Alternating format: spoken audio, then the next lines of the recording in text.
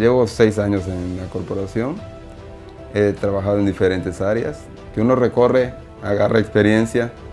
Con lo mismo puedes apoyar a tus compañeros, con lo mismo puedes enseñarle a tus amigos, a los nuevos.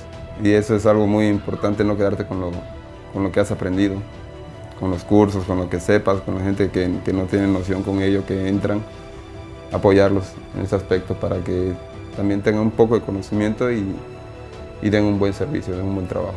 Que reciba este premio me hace sentir orgullosa. A la vez me da un poco de risa porque hemos tenido ciertos conflictos, porque siempre que llega a casa, después de 24 horas de convivir con sus compañeros, siempre lo sigue apoyando.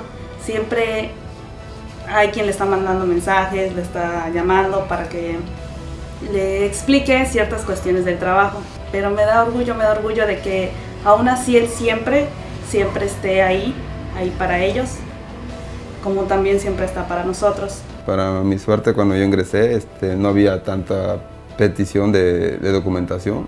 Hoy en día ya es más estricto, preciso. Si no tiene la documentación ya no es tan fácil ingresar. Cuando él se va, es, sí es, es triste, pero a la vez me da satisfacción porque sé que él está haciendo algo que le gusta, que le apasiona demasiado. Es un gran ser humano. Pues me da mucho orgullo, me da mucha felicidad y sé que estoy haciendo un buen trabajo, sé que estoy en lo correcto.